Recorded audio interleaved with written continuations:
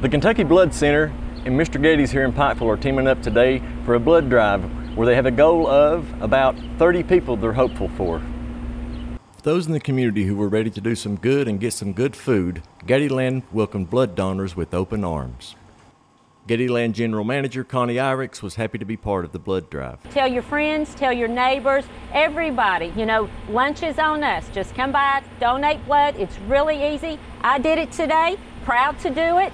Uh, we recommend everybody do it. You never know when your family's going to need it. It's great for the community, great for everyone. So come and have lunch on us today. Donate blood. With a daily quota of several hundreds of units, the center welcomes any chance to partner with the business community. Miss Lynn Osborne uh, with Mr. Gatti's here reached out to us and thought it would be a great idea to form a community partnership together and host a blood drive together. And I think that it's going to be a super successful day of saving lives together. Do you worry about having enough money to last throughout retirement? Give Reed Potter at Raymond James a call.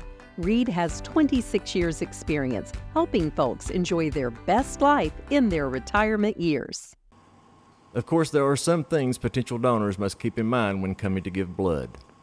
Uh, if you want to come and donate with us, just make sure to bring a uh, form of ID, driver's license, learner's permit. Um, you must be at least 16 years of age to donate with us. Uh, if you're 16, you have to have a parent's consent. We have that here if your mom and dad want to sign it or legal guardian. Uh, 17 and above, just bring that driver's license, come in, make sure you eat well and hydrate well before you come. And you're also going to get that free buffet from Mr. Gatti's too, so that's going to help after you donate to eat that good lunch. So Mr. Gatti's and the Kentucky Blood Center are both hoping to meet their goal today, so give them a hand. Reporting for Mountaintop News, I'm Sheldon Compton.